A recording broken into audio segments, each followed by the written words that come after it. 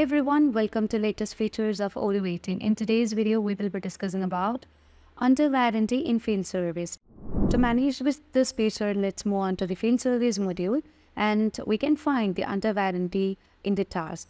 So whenever the serviceman is going for the service, he can just make sure that service is under warranty or not. So if this field is enabled, then the tools and products or the services that is used for this uh, task will not be uh, billable.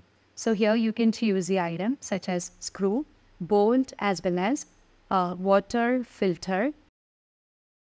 Now let's add all these products and even if you add multiple items you can see that the uh, products that is used set to zero and under the sale sale order also you can see that um, the products that is taken or the services that is taken won't be billable.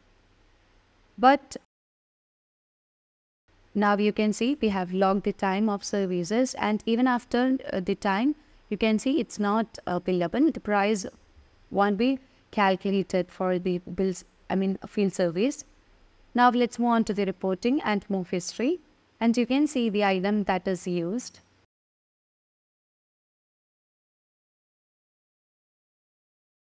Now again let's move on to the field service and let's find the difference between uh, a product or a service not under warranted.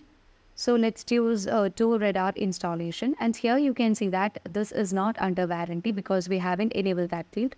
Now let's choose the products um, while going for the field service such as screw and bolt. As this field service is not under warranty, you can see that the price will be calculated over there. And you can also just log the time that is uh, taken for the field service. As you just move on to the sales order you can see uh, it is billable. So that's all for today and thank you for watching the video